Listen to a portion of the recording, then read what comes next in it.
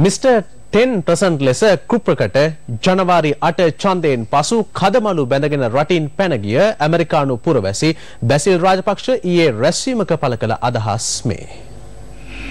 මේ රටේ විකාශයට අයිතිය දෙන ෆ්‍රීකවන්සි නැත්තම් සංඛ්‍යාත එක සමාගමකට දෙනවා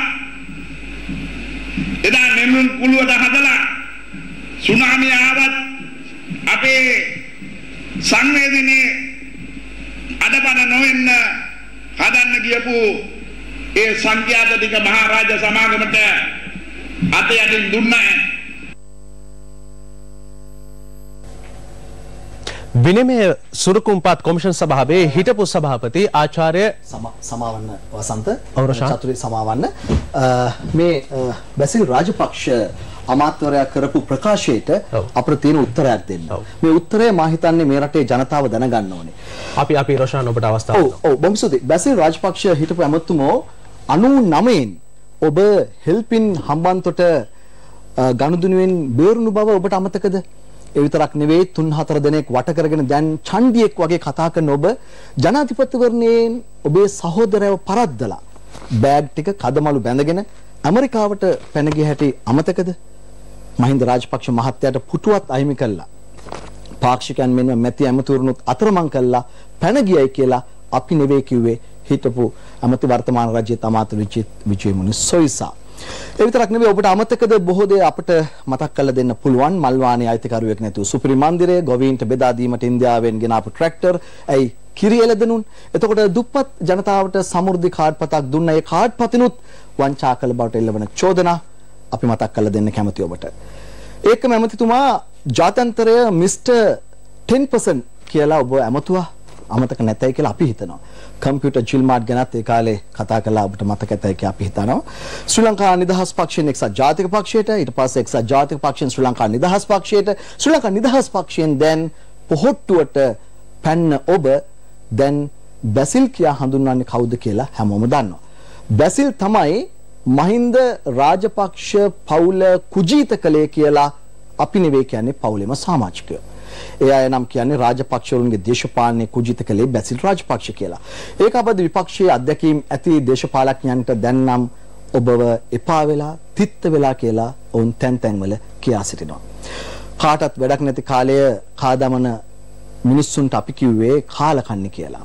ඒ නිසා ඇඟ පුරා සුරෝතාගෙන දෙවියන් අදින්න උඩුකය නිරාවරණය කරලා ඔබ ඒ ස්ථානවලට ගියාට ඔබ ඇතැම් විට නිර්වස්ත්‍රවද ඉන්නේ කියලා හිතන්න තරම්ම ඔබේ පැටිකිරිය අතීතය අපට සිහිකැඳවන්න පුළුවන්. ඒකම අසික්කිත දේශපාලන ගුණ්ඩුවක් ඔබ මේ සිදු කරන්න කියලත් අපි ඔබෙන් අහන්න කැමතියි. හිටපු ඇමතුමෝ ඔය අවස්ථාවාදී වැඩ උතුරේ වගේම දකුණේ ජනතාවත් දැන් හොඳින් දන්න බව සිහි තබා ගන්න. සට්ටැඹි උපදේශකයෙකු කවුරු හරි කියලා දුන්න විදිහට උපදේශකයෙකු ලියලා දුන්න විදිහට කනට කළා කියපු විදිහට ඔබේ ඔය විවේචන ඔබේ චෝදනා බලයේ සිටි කාලය කළ කෙනෙහිලිකම් අපට අමතක වෙන්නේ නැහැ. විශේෂයෙන්ම ගහපුවා ප්‍රහාර එල්ල කරපුවා චෝදනා කරපුවා අපහාස කරපුවා අපි කවදාවත් අමතක කරන්නේ නැහැ.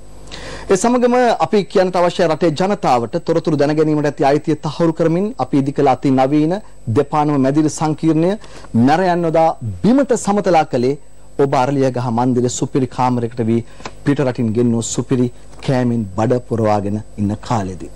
දැන් සුනාමිය ගැන ඔබලා කතා කරනවා. සුනාමිය වෙලාවේ හෙලිකොප්ටර් වලින් සුනාමිය නරඹද්දී ඔබ ඇතුළු ඔබේ සගයන් සිරසේ අපි ජනතාව වෙනුවෙන් මේ මහා පොළොවේ පය ගහගෙන ඔවුන් සමග නැගී සිටියා ඔවුන්ට සේවය කළා ඔවුන්ගේ විපතට උදව් කළා ඔබට අමතකුණාට ජනතාවට අමතක නැහැ. හෙල්පින් හම්බන්තොට ගිනුම සුනාමියත් එක්ක සම්බන්ධ වෙච්ච ගිනුමෙන් ලැබිච්ච මුදල් පිල්ලි ගැහුවේ කවුද කියලා අපින් අහන්න එපා ඔබ අහන්න හිටපු අගවිනිසුරු සරත්ෙන්ද සිල්වා ප්‍රසිද්ධියෙන් ප්‍රකාශ කළ බවට එදා රටේ ජනතාවට මතකයි. දිවිනැගුම සල්ලි පිල්ලි ගහන්නට පනතට ඉඩ නොදුන් අපේ රටේ පළමු අගවිනිසුරුවරිය අට පාස් නැති ඔබේ සට්ටැම්බියන් යොදා පැය ගණනකින් ගෙදර යොදිනය අපේ රට ඉතිහාසයේ කළු අකුරකින් සටහන් වෙලා තියෙනවා. ඡන්ද ක්‍රමයක් යයි කියා සීමා නිර්ණ වාසිට හරවාගෙන අනපනත් වෙනස් කරමින් සිදු කළ අවුල ලියා ගන්න අපේ රට තාමත් හැකි වෙලා නැහැ. බැසිල් රාජපක්ෂ හිටපු ඇමතුමා. ඔය කිහිපයක් විතරයි අපට ඇඟිල්ල දිගු කරන ඔබේ අතේ ඇඟිලි හතරක් ඔබේ දෙසට දිගු වෙලා තිබෙන බව බලන්න. 2015 ජනවාරි 8 වෙනිදා ජයග්‍රහණය ගැන ඔබ එව් SMS පණිවිඩ ඔබ සහභාගී වූ රාත්‍රී භෝජන සංග්‍රහ ගැන අපි වෙන දවසක වෙනම කතා කරමු. අහිංසක දුප්පත් ජනතාවගේ කිරි එළදෙනාගේ ඉඳලා සමෘද්ධි කාඩ්පත දක්වාත් මෙරට ප්‍රතිලාභ ගෙනෙන මහා ආයෝජන ව්‍යාපෘතිවලුත් හිරිකිතයක් නැතිව කොමිස් ගහපු ඔබ වැනි අය ජනතාව දැන් ප්‍රතික්ෂේප කර අවසන්. අඩෝ මේ මොනවද කියන්නේ කියලා කවුරු හරි ජනතාව ඔබේ නැඟිල්ල දික්ක ලැහුවොත් ඔබට ඒකට උත්තර දෙන්න වෙයි. දැන් ඔබේ කාලය අවසන්. ඔබේ පාර්ලිමේන්තු පුටුවත් හෝදලා සුද්ධ කරන්න කාලය ඇවිල්ලා. ජනතාව යලිත් ඔබ වෙලවා දමන්නට පෙර රටට පවු නොදී ඔබේ රටවන ඇමරිකාවට ආපහු යන්න. Tamanගේ තරම දැන් ඉදිමිය යුතු බව, Tamanගේ තරමටම ඔබ ඉදිමිය යුතු බව අපි ඔබට අවසන් වශයෙන් මම කාරුණිකව දැනුම් දෙනවා. මම ස්තුති වසන්ත. छात्र सुधीर सुधीर रशान